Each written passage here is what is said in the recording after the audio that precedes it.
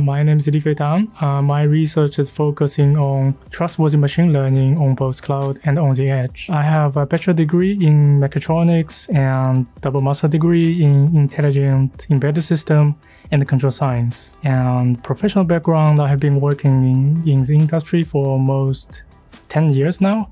Uh, three plus years for working for a startup and uh, six plus years working for Atlas Copco.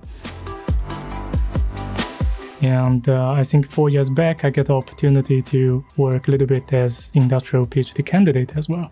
I'm trying to create software so that it can do data analytics like a human expert. It is a really cool area and a fast evolving area, and uh, I want to combine it with the uh, something has a real impact to society. And manufacturing business is uh, one of those sectors can have the real impact to society. And if we think about the chair we're sitting on, and uh, you know the light and uh, all the buildings, it's all coming from manufacturers, and they they do physical contribution to society, and combining the cool stuff with uh, real contribution to society is exciting.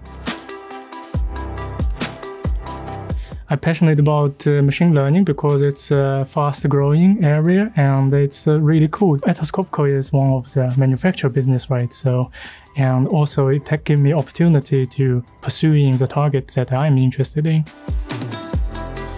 So my research target is try to combine machine learning uh, with our domain expert in tightening together with customers' production data to create intelligent service which can bring insight to the production line, uh, which helps the customer to improve their product quality and uh, reduce the downtime of the production line and improve the efficiency in general.